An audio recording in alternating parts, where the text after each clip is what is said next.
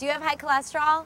The American Heart Association estimates that 99 million Americans do. High cholesterol is usually associated with a high fat diet, being overweight, poor lifestyle choices. There's two types of cholesterol. One that is called LDL, which is low density lipoprotein. And this is the one that most people refer to as the bad cholesterol. And HDL, which is the high density lipoprotein, which is what people know as the good cholesterol, the happy cholesterol. Specifically, the low density lipoprotein or the LDL, and that we want to be less than 130. The kinds of foods that we eat, particularly the high fat foods that we have, are going to create in our bodies additional cholesterol that are going to impact particularly our heart and circulatory system.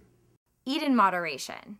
Eggs, beef, poultry, cheese, and milk According to the American Heart Association and USDA, eat a variety of whole fruits and veggies. Make sure that they are colorful, choose whole fruits over juices, and half of your grain intake should come from whole grain foods. Avoid sugary beverages and foods with added sugar.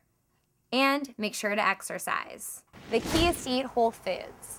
Go to melslife.com, click on Circle of Wellness, and print out exclusive coupons to save money. Your health is important, and together we can make a difference.